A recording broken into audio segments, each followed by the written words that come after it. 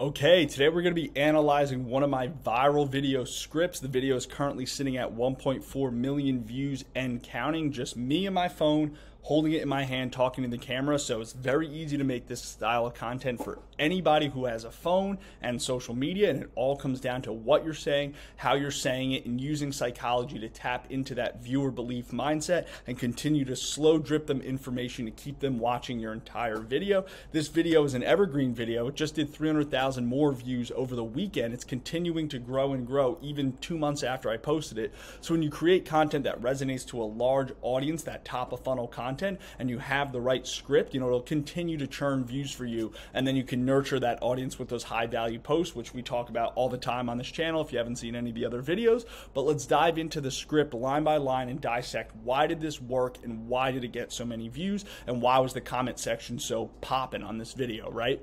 So diving in, we've got the script right here. We're just gonna go line by line and really dissect every element of this video, starting with the hook. Have you ever wondered why like 93% of the people who actually win The Voice or American Idol don't make it as huge pop stars after? So immediately we're posing a question that's directed exactly at the viewer. With this style of content, when you've got your phone and you're on this like FaceTime kind of call with the viewer, it can't be about you. It's got to be about them. It's got to feel like you just picked up the phone because you called them, they answered, you picked it up, and you asked them one to one a question. Have you ever wondered? The word you always has to appear, if not in the first line of your video, if you're talking and you're doing educational content or even really entertainment content, anything where you're talking to the camera and you want that viewer to relate to the video or want to learn from what you're speaking about in the video, especially with your music content. It can't be all I, I, I. It's got to be boom, directed at the viewer. Have you ever wondered? And then right after that, we follow it up with a number. So here we're talking 93%.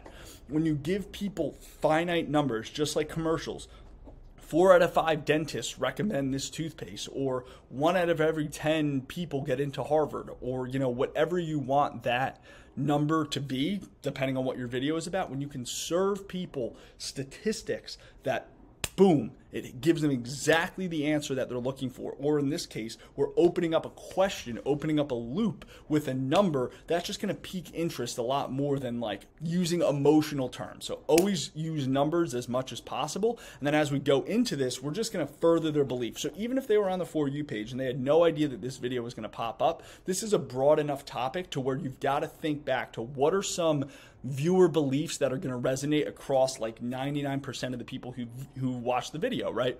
So we've opened up the question of have you ever wondered why all these people that win these shows don't become huge pop stars after? And then we're going to follow it up with furthering the beliefs that we feel the viewer has. So in this case, I'm like, okay, what do most people think?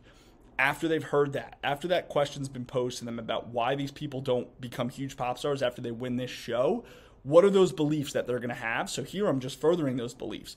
Obviously, to win those shows, you got to be a great singer, great performer, be charismatic, have stage presence, literally all the attributes of a superstar they already have. So those are the beliefs that I felt the viewer probably has. So let's just get them on our side. Let's make them feel like we're in agreement with the topic of the video by furthering those beliefs for them. And then we're going to open up that question that's going to keep that engagement with this next line.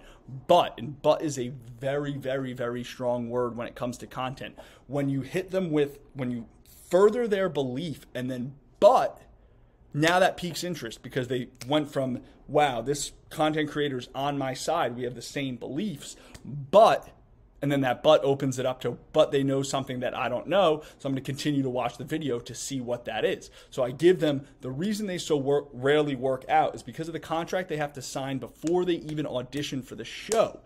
So now I've just piqued interest even more because we've opened up this whole new loop right? We've opened up the whole new loop of the reason why is because of the contract, but we're going to build upon what it is in that contract that doesn't give the result that the viewer clearly establishes their belief. And we're going to slow drip that information over the next couple lines, piquing interest, giving a little bit of the answer, pulling back, and then, you know, piquing interest even more right here with Everyone who goes on these shows signs this contract and then it kicks into effect for whoever the winner is. And when I tell you this contract is bad, it's bad. So that's where we're boom, we're doubling down and we're giving the viewer that reason to continue watching because now we've given them a sliver of the information as to why, you know, the answer to that first question we pose. Why do the winners don't make it big after? Okay, we've given them the reason why is the contract. So we're giving them a piece of that information, but now we're going to tell them it's really bad, and they're going to have to continue watching to see, well, why is it so bad? And we're just going to, again, further our belief that the viewer now feels that they're on board with, which is like up there is the worst possible deal structure someone in music could possibly sign bad. So we're really building this big belief around, okay, this contract is terrible. It, it is terrible. Okay, why is it so bad? they're still watching because that interest is continuing to be piqued. First of all, it'll typically tie that artist to the label arm of the show for an absurd amount of time. So, see how every time we give an answer, we open it up to another line that's going to support that answer without giving it all away. So I could have said in this, first of all, it'll typically tie that artist to the label arm of the show for a four to five album commitment. But when we break it up into two lines and we continue to pique interest, makes the video longer, but it continues that retention and that watch time to then show the algorithm this is an interesting video, and we'll get into other reasons why the video did well outside of the retention because the watch time on this was insane. It was like it was like a 63 second video with a 40 second average watch time and like 38% of the people watch the whole video which is like insane numbers on the engagement side to to get a push in the algorithm. And now here we go. We're going to open up another with the but right but since these shows and the label want to capitalize on the popularity of this artist as quickly as possible once the winner is announced, they'll rush the first album out in a couple months, which is insane when you think about how quick that is for a whole album to be written, recorded, and produced. So now we're just continuing again to further those beliefs and give them pieces of the answer without giving the whole answer. And then this next line, we're literally going to open up a whole other conversation that's going to get that viewer to start thinking for themselves in terms of like the label owns the rights to basically everything from this artist and they can't can't make any career decisions without this label's approval, which typically leaves them in limbo for years and years after they've won. So now we've just opened up their mind and beliefs to this is, you know, this is the final reason why this contract doesn't work for these artists. We've given them all the answers, and now we have to pivot, right? Because we have to get them to feel like they can voice their opinion on this, and that's where we open up the comment section, but we do it in a way without begging for comments. So, this next line is very important which is why the runner ups and people who get eliminated earlier usually end up having way more successful careers after. And that line right there opened up the whole video comment section to a ton of conversation. I got thousands and thousands of comments from people all listing different runner ups and people who got eliminated on these shows that they were thinking of, oh, Adam Lambert, Morgan Wallen. And they started listing all these people because this line opened up that conversation without begging for it. And then all we do here is kind of further the belief of why those people are successful and not the winners by saying they have the freedom to make their own career decisions on their own terms. Video ends. People are discussing in the comment section. So that is a you know dissection and breakdown of this script and really just the principles around scripting your content. And you don't have to script every line, right? You can just script your hook and then have bullet points, but you have to know where you're starting from. You have to know that you have a strong hook and you have to know how to get your video from point A, that hook, to point B that keeps it engaging for that viewer throughout. And the best way to do that is to continue to open up these loops in which once you give them the answer to close the loop, you're immediately opening up another question that can percolate around your their head while you continue to give and slow drip that information to that answer talking content is so so essential because it builds up that loyalty and that trust between viewer and creator a lot more than just like pointing at text or you know lip syncing if you're you know you're a music artist. And when you know that you've structured your speaking videos even like again like just a hook and bullet points to continue to follow this pattern where you know it ebbs and flows like a movie does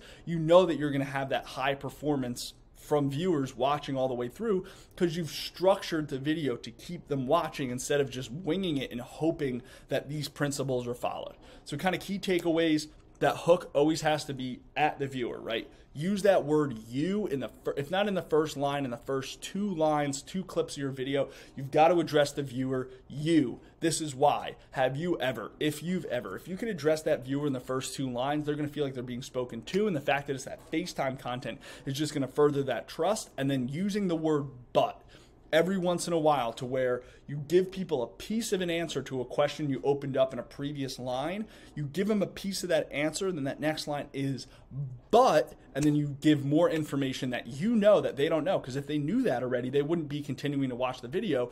They're watching the whole video at this point because they feel that you have the answers to these questions that you opened up in their mind in the beginning of the video, but that next piece that you give them is something you know that they don't know and they're watching to get that piece of information. So yeah, that's a that's a breakdown of this video. You know, I have a ton of videos that have done hundreds of thousands, millions of views. We can look into and break down in future videos. If this was a helpful video style, a little, little something different here, let me know in the comments. I know I said don't beg for comments, but the different video style here. Let me know in the comments if you like this breakdown, any other questions, and I'll see you Wednesday. Peace.